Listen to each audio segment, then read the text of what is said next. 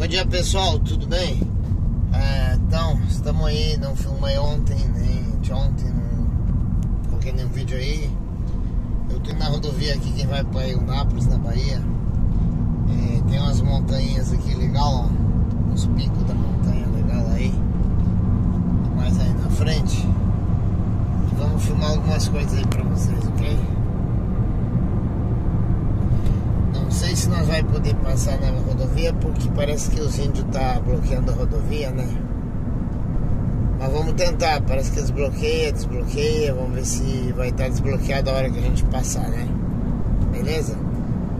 Dá seu like aí, comente aí nos comentários e vamos que vamos.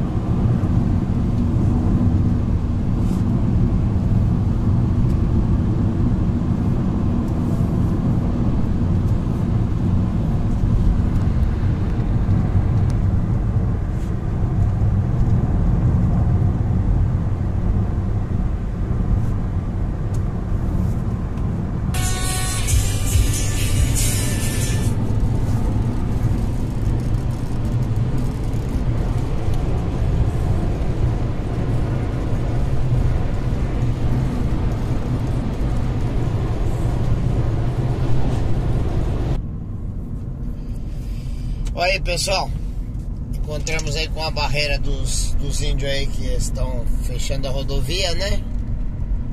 Agora não sei como é que a gente faz. Que agora não sei se vai dar pra passar, se vão liberar, se não vão, como é que vai ser agora, não sei.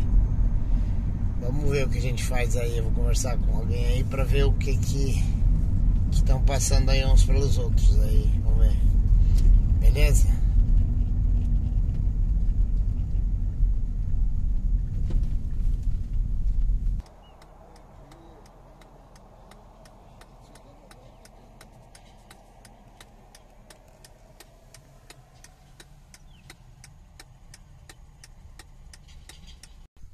E continua parado ainda o trânsito. O Wilson foi lá falar com o pessoal, o caminhoneiro.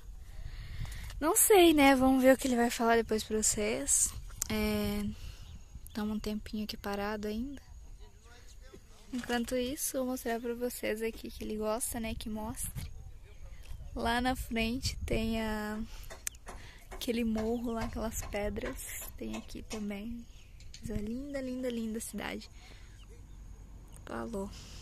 Aí pessoal, eu vou encerrar esse vídeo aí, é, depois eu começo outro. A BR-101 aqui em Tamaraju, na Bahia, tá toda fechada aqui já pelos índios, né? E, de vez em quando eles fecham isso aqui e não tem previsão de quando vão liberar aí pra gente. Eu não sei, eu acho também, mesmo que seja índio, deviam de colaborar, já que domingo, terça vai ter a greve. Domingo já os caminhões iam parar, então parece tudo domingo, né? Que aí a gente estava sabendo. Mas assim, parar hoje sem, sem nem avisar ninguém, pô, ficou ruim pra nós. Como é que nós vai, vai passar agora?